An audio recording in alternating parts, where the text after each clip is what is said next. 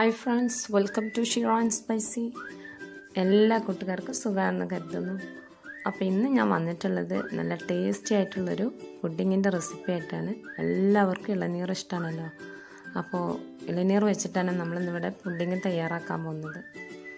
എങ്ങനെ തയ്യാറാക്കാൻ നോക്കാം. ഞാനിവിടെ രണ്ട് ഇളനീറിന്റെ പഴുപ്പാണ് എടുത്തിട്ടുള്ളത്. ഇത് നമുക്ക് ഒരു മിക്സിയുടെ ജാറിലിട്ടിട്ട് ബ്ലെൻഡ് ചെയ്തെടുക്കാം. ഞാനിപ്പോൾ ഇവിടെ നല്ല പോലെ ബ്ലെൻഡ് ചെയ്ത് എടുത്തിട്ടുണ്ട്. നമുക്കിതൊരു സൈഡിലേക്ക് മാറ്റി വെക്കാം.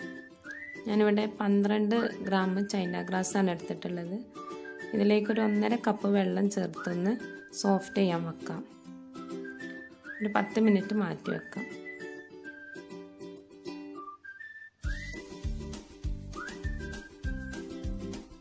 ഞാൻ സ്റ്റൗവിൽ ഒരു പാന് വെച്ചിട്ട് ഒരു പത്ത് മിനിറ്റിന് ശേഷം ഞാൻ ഈ ചൈന ഗ്ലാസ് ഇതിലേക്ക് ഇട്ട് കൊടുക്കുകയാണ്.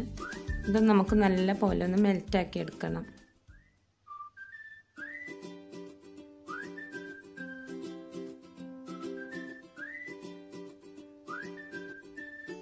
നല്ല പോലെ ഒന്ന് ചൂടാക്കി എടുക്കാം. അപ്പോൾ നമ്മുടെ ആ ചൈന ഗ്ലാസ് ഇതിൽ മെൽറ്റായിട്ട് വരും.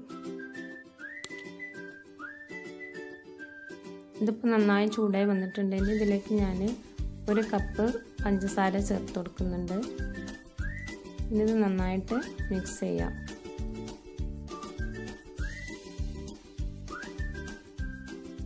നന്നായിട്ട് ചൈന ഗ്രാസ് ഇളക്കി കൊടുക്കണം കേട്ടോ. ഇപ്പം ഇതിലൊരു ക്രിസ്റ്റലായിട്ട് ഇങ്ങനെ കാണുന്നുണ്ട്. അത് നല്ല പോലെ ഒന്ന് മെൽറ്റായിട്ട് വരണം.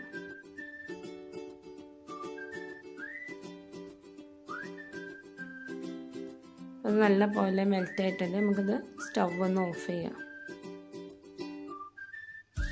ഇനി ഞാനിവിടെ ഒരു ബൗളെടുത്ത് ഇതിലേക്ക് രണ്ട് ഇളനീറിന്റെ വെള്ളമാണ് ചേർത്ത് കൊടുക്കുന്നത്. ഞാൻ ഈ ബൗളിലേക്ക് ഒഴിച്ചിട്ടുണ്ട്. ഇനി ഇതിലേക്ക് നേരത്തെ നമ്മൾ ബ്ലെൻഡ് ചെയ്ത് വെച്ച ഇളനീറിന്റെ പൾപ്പുണ്ടല്ലോ അതും കൂടെ ഇതിലേക്ക് ചേർത്ത് കൊടുക്കുകയാണ്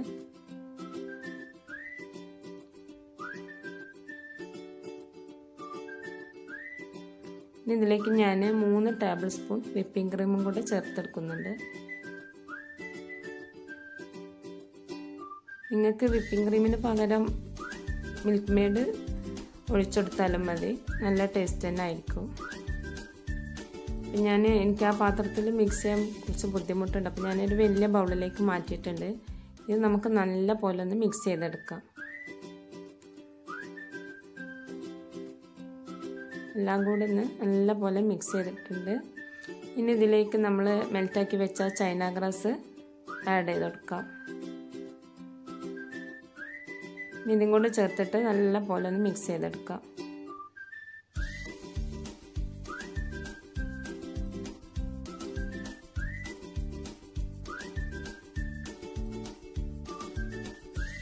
ഞാനിപ്പോൾ എല്ലാം കൂടെ ഇതൊന്ന് മിക്സ് ചെയ്തിട്ടുണ്ട്.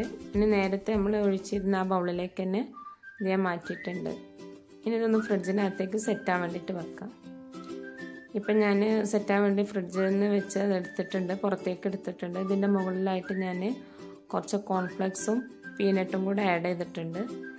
പീനട്ട് ഒന്ന് ക്രഷ് ചെയ്തിട്ടെടുത്താണ്. അപ്പോൾ നല്ല ടേസ്റ്റാണ് കേട്ടോ ഈ കോൺഫ്ലെക്സ് ഇങ്ങനെ എടുക്കുക ഇങ്ങനെ കടിക്കുമ്പോൾ അതുപോലെ പീനട്ടായാലും കടിക്കുമ്പോൾ നല്ലൊരു ടേസ്റ്റാണ് നമ്മളെ പുഡിങ്ങിന് കൊടുക്കുന്നത്.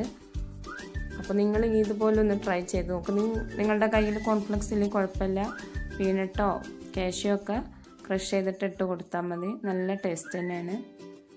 ഇനിയിപ്പോൾ ഇതൊന്നും ചേർത്തില്ലെങ്കിലും പുഡിങ് കഴിക്കാൻ നല്ല ടേസ്റ്റാണ് അപ്പോൾ കോൺഫ്ലെക്സ് ഉണ്ടായപ്പോൾ ഒരു ക്രിസ്പി ആയിട്ട് നല്ല കഴിക്കാൻ ഒരു ടേസ്റ്റ് തോന്നി.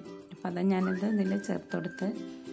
അപ്പോൾ എപ്പോഴും പുഡിങ് കഴിക്കാൻ ടേസ്റ്റ് ആ സോഫ്റ്റിലൂടെയാണ് സോഫ്റ്റായിട്ടാണ് ഞാനിവിടെ സോഫ്റ്റ് ആയിട്ടാണ് ഉണ്ടാക്കിയത്. നിങ്ങൾക്ക് കുറച്ചുകൂടെ കട്ടി വേണമെന്നുണ്ടെങ്കിൽ ഒരു പതിനഞ്ച് ഗ്രാം ചൈന ഗ്ലാസ് എടുത്താൽ മതി.